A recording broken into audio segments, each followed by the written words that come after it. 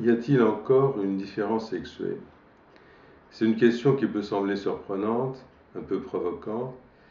mais c'est une question qui m'est venue à partir de ma pratique et de ma pratique de psychanalyste. Alors, la psychanalyse, c'est euh, l'exercice de la parole,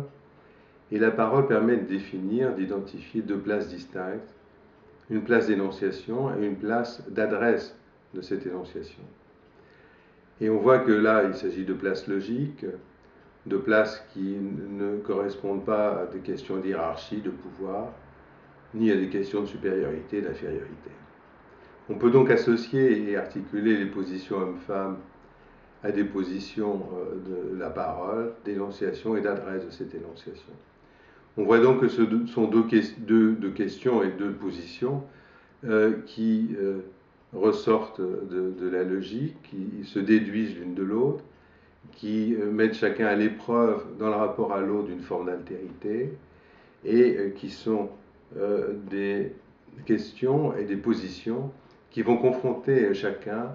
à un impossible, puisqu'il n'est pas possible d'occuper les deux places à la fois. Quand les positions d'hommes ou de femmes ont du mal à trouver le racisme, on va trouver un certain nombre de manifestations symptomatiques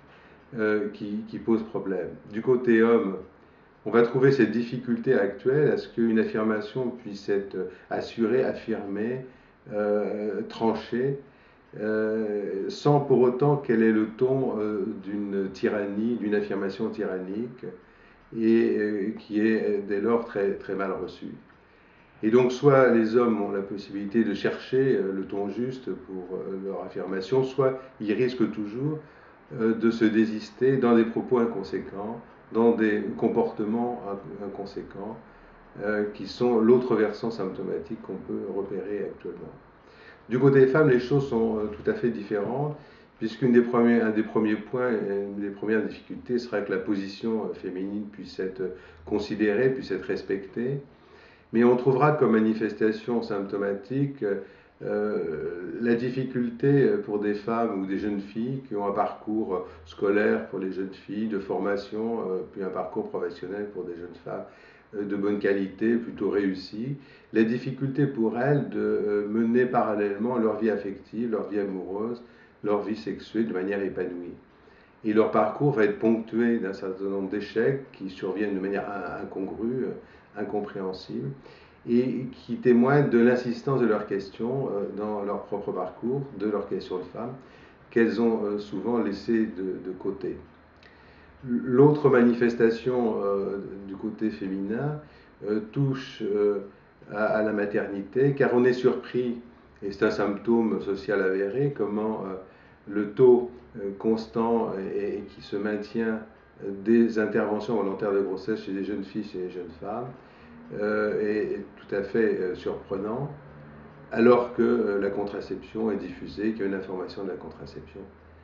qui se fait de plus en plus. on sait que la science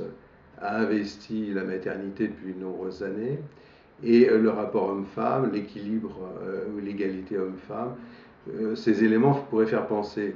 au fond que le rapport au maternel, à la maternité, et d'un rapport qui est plus euh, rationnel, plus raisonnable. Il n'en est rien. Il semble bien au contraire que ce recours à la maternité, euh, à la possibilité d'être mère pour une femme, c'est une manière euh, d'affirmer, de faire valoir la dimension de sa féminité qui n'arrive pas à s'affirmer autrement. Voilà un certain nombre de manifestations symptomatiques du monde actuel, du quotidien, qui me semble important d'approfondir et donc que je me suis efforcé de traiter à partir des repères que propose Freud, que proposait Freud, des repères qu'a amené Lacan, et à partir de ma pratique personnelle, où je reçois depuis de nombreuses années des adultes, des hommes, des femmes et des enfants.